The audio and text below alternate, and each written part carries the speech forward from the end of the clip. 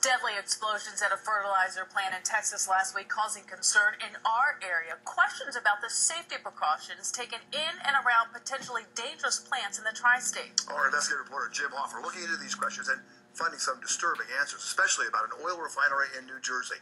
Were they cutting back on safety? The Bayway refinery in Linden pumps out 238,000 barrels of fuel a day, making it the largest refinery on the East Coast. Occasionally, that process can be dangerous. explosion and um, a lot of windows broke out. This exclusive video obtained by Eyewitness News shows an inferno of 30 foot tall flames following a Bayway explosion in 2008.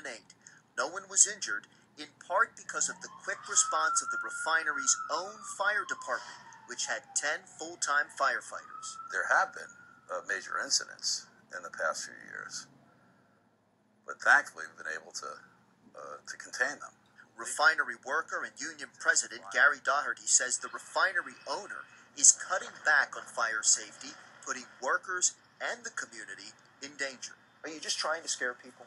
Uh, no, we're not trying to scare people. We're trying to educate people. We're trying to convince management that they're making a mistake. The union says Bayway's fire department has been reduced from 10 full time firefighters in 2008 to 7 today.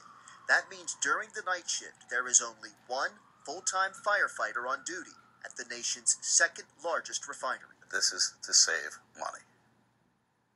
And we ask, at what cost? Bayway's owner, Phillips 66, says that it maintains robust emergency response capabilities. A spokesman telling us that only one full time firefighting position has been cut, and that more than 100 workers here at the refinery have been trained to respond to emergencies. But we've learned that the volunteer rescue squad had its firefighting training eliminated. That caused nearly half of the 48 man volunteer fire brigade to quit the squad. They turned in their gear and they no longer volunteer to come in and fight fires. They fear for the safety.